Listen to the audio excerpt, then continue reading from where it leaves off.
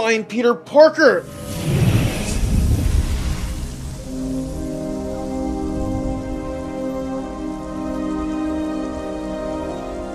Great, it's just some random guy.